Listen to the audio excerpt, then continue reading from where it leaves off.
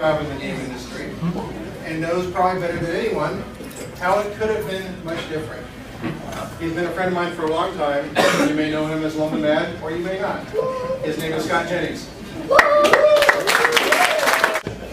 So uh, my talk actually uh, ties into Robin's very well in that I'm basically going to explain to all of you who I assume are already employed how to keep your jobs. Um, bear in mind uh, that this is usually a skill that a lot of people don't have, including myself. So who am I'm just going to do this. Good boy. so who am I? Uh, I'm Scott Jennings. I've been in the game industry for over 10 years now, which frightens me and should frighten you. And I've been keeping a blog for even longer than that. I've kept a blog since before blogs even existed. They were called rant sites back then, which was a much better and more descriptive term. uh, if we had slides, I would be able to show you my 10-year-old rant site, but we don't. So just assume it was really ahead of its time. This is going to be uh, a uh, talk full of negative feedback because working on MMOs, I learned that works. Uh, so the first uh, instruction that you should not do, don't burn bridges. This is something I have a really hard time with if you've read my blog. But really, this is a small town in a small industry. You're going to work with everyone. All of you in this room are going to work together at some point. I've worked with a frightening amount of you already. And if you say something that you think is really clever and funny and scores a point against someone else, you're going to have to explain that later in a job interview. and it doesn't matter even if you took it off your website because the internet remembers everything.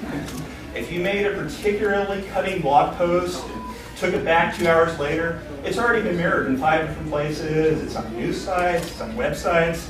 Google has it in its cache. The Internet Wayback Archive stores it for years and years and years. Everything is stored forever. So, next one. This is the one that when you tell your employer you're keeping a blog, this is what they're most worried about. And it's actually the least likely problem you're likely to have because you get really stupid to fall for. Don't disclose confidential information. That's the nightmare of your supervisor. You're going to get out there and you're going to blow this big project that they've spent millions of dollars on PR to get ready to go, and you're just going to tell your bud on your blog that you get 10 readers. All of a sudden it has 50,000 readers because you're the news story for the day. Don't blog while working. I always break this, and you will always break this, because the fact of life in the game industry is you're at your desk pretty much all day. But seriously, it's a bad idea. Why is it a bad idea? First off, you're being that guy. You know that guy. He's the guy who plays WoW all day while you're working. How many of you have seen this? How many of you are really freaking ticked off about it? I could have said something else right. Don't be that guy. Even if over and above the don't be that guy factor, your company owns your PC. If they wanted to get froggy about it, they could then say they own your blog because you worked on it at work. You don't want them to do that. Something else. Don't take credit for everything everyone on your team does. this is actually something that the gaming media, quote unquote, has a really hard problem with doing. And if I had slides, I'd have a really funny quote. So instead, I'm going to read it to you. This is an actual quote from a news story.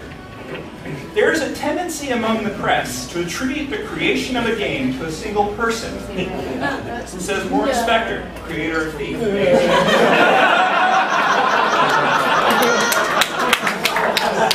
IGN.com. Really, it really happened, yes.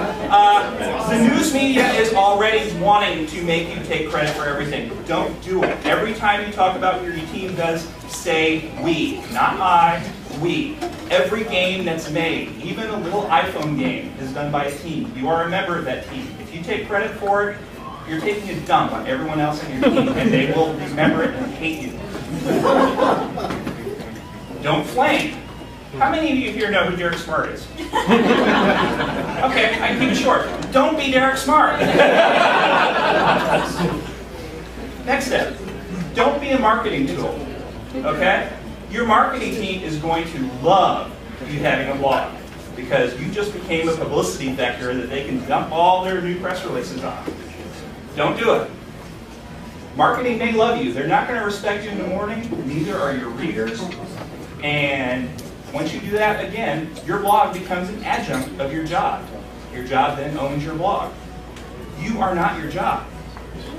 Your blog is a part of you, not your job, not your career. It is an extension of you. And when you turn it over to marketing for the new project that you're excited about, you should be excited about it because it's pretty much your entire life for three, four, how long was Teddy Ross in It's something you should be excited about. So those are all the negatives. Positives, uh, do share knowledge, do share experience, do share opinions, do write well, do be funny. Being funny forgives a lot of things, I know personally. Be timely, be social, advertise on Twitter, advertise on Facebook, advertise everywhere. And if you have any questions, too bad. This is too, this is too long already. No. Oh, I still got four minutes. My slides are working. Uh, really, I mean, and now I'm really going to wait because I'm past my presentation. Uh, your blog is really an expression of where you want to go with your career, with your life, with yourself. It is a part of you. It is not a part of your job. It is not a part of your project. Your manager cannot dictate what goes in your blog. Your job cannot dictate what goes on your blog.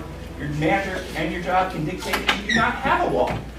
And you may have to say, okay, you're right. Long as I'm working here, I can't do this. That's the choice you have to make.